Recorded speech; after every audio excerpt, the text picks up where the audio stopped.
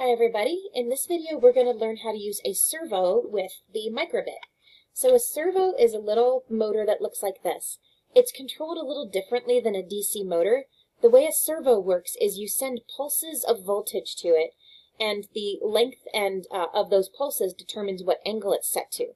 And it's actually locked in position when it's getting those pulses of voltage.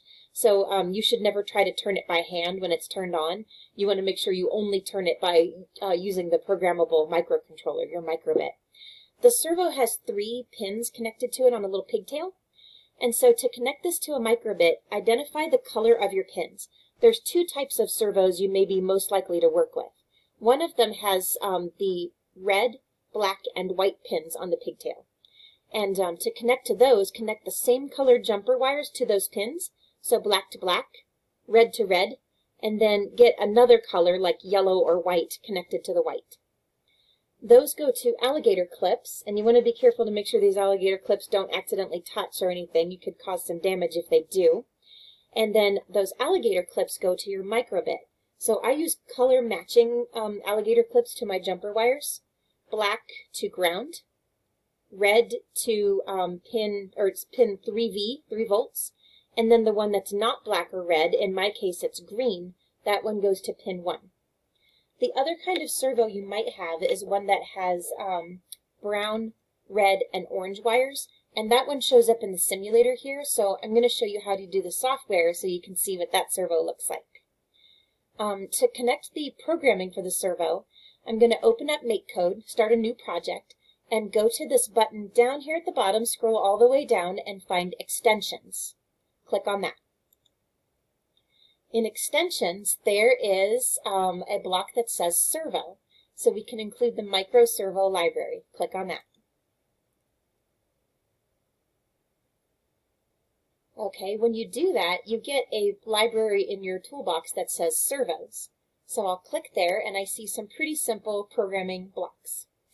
So um, I'm going to first grab the easiest one to work with, which is set servo to angle. And I'll just pick that one up and put it in the on start. Okay, it's always a good idea to set your servo to some starting position at the beginning. Our servos go from 0 to 180, so you can set this to be anywhere between 0 and 180. As soon as you add the servo block, you get a picture of a servo in the programming code. And um, you'll notice that their servo has different colored wires. There's brown, red, and um, they use yellow, but yours might be orange. So you're going to connect a black jumper wire to the brown one, and that goes to ground. Brown is ground. Red is still 3 volts, so you'll connect a jumper wire and an alligator clip, and that goes to 3 volts. And then orange goes to pin, uh, whatever pin you're going to use for data. I used pin 1 on my microbit, so I'm going to set this to be pin 1. And you'll notice the alligator clips shifts over.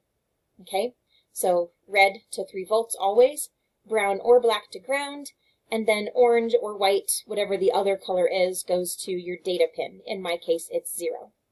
Okay, um, so then there's a few things that you can do with the servo. Um, one thing, of course, is you can just have it snap to a position when something happens. So let's say when I push button A, I want the servo to switch to position 180 degrees, and maybe when I push button B, it goes back to zero. Um, to program that, I go to Input, and I'm going to get the On button pressed. I'll grab two of them, one for button A and one for button B. Okay, and then I'm going to grab my Set Servo Angle to, duplicate it, and snap it in both of them.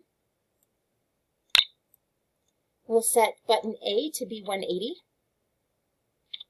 and then button B to 0. So now you'll see if I push button A, it snaps to 180, and if I push button B, it snaps to 0. Okay?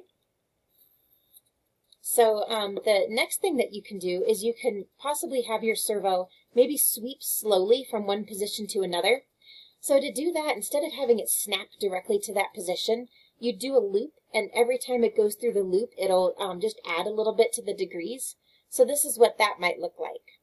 We'll go to loops and get a for index from, pick it up, and snap that into, I'm going to go ahead and snap it into on button A pressed, and then move this one down.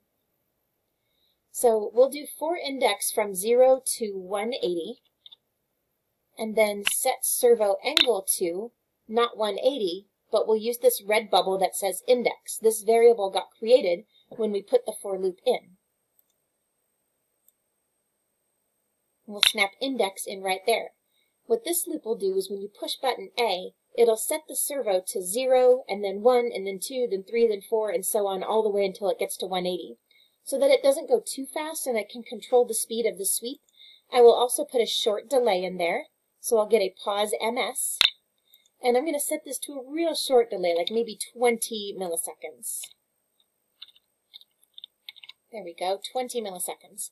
So um, when it runs, it'll just do a short pause in between each angle, and then you'll see it goes really slowly. So if I push button A, it's going to go from 0 to 180, but go very slowly. So you can use that to control the speed of the um, swipe to that position.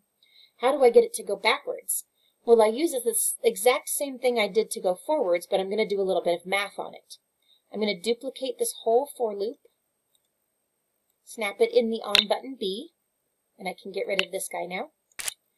But instead of, with this index is still going from 0 to 180, but instead of setting the servo position to the index, I'm going to set it to 180 minus the index. If index is 0, 180 minus 0 is 180. If index is 180, 180 minus 180 is 0. That math has the effect of making the servo um, spindle go backwards. So we'll go to math and get subtraction snap that in instead of index, and we'll make this be 180 minus index.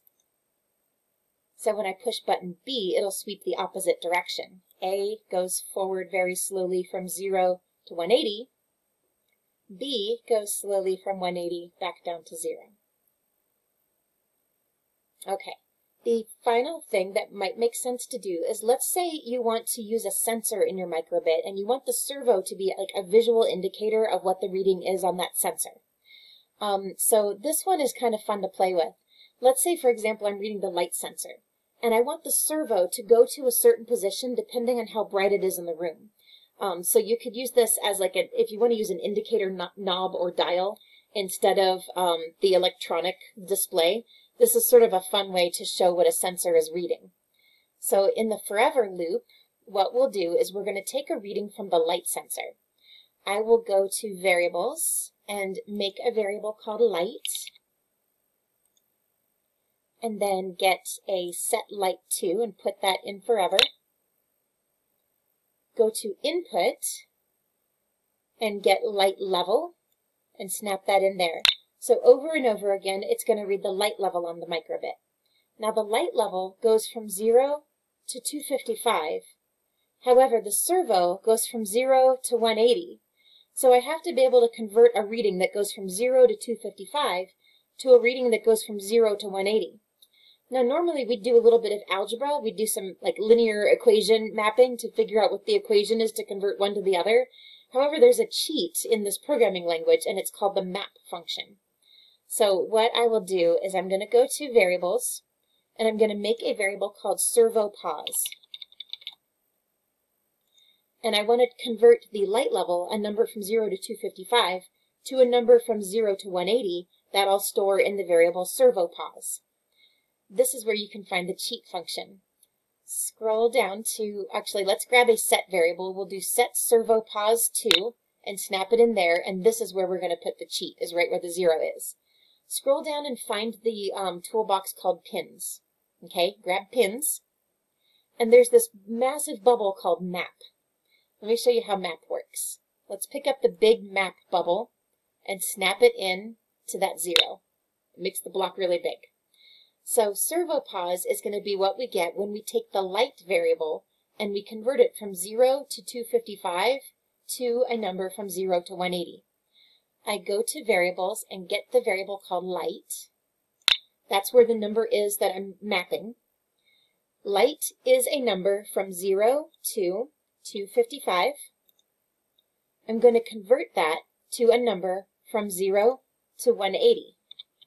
So you can read the map function like that. Take the light variable, it's a number from 0 to 255, convert it to a number from 0 to 180, and it'll convert it on a linear scale to those numbers. And then finally, we can get our servo set angle to. In servos, get set servo angle to, go to P1, and we're going to set that to be this variable servo pause. Okay, and now you'll be able to see, so the, the light level is set to 128 and the servo's at 90 degrees. If I set it all the way down to zero, the servo goes to zero degrees. And if I set it all the way up to 255, the servo goes to 180. It changed a number from 0 to 255 to a number from 0 to 180. And then you can test this on the physical microbit, see how much light is shining on it, and when you cover or um, open the light sensor, you'll be able to see the servo go to its correct position. So those are the pro tips on how to program a servo. Um, I'm sure you'll find other creative uses for them. They're a very engaging device and have fun with it.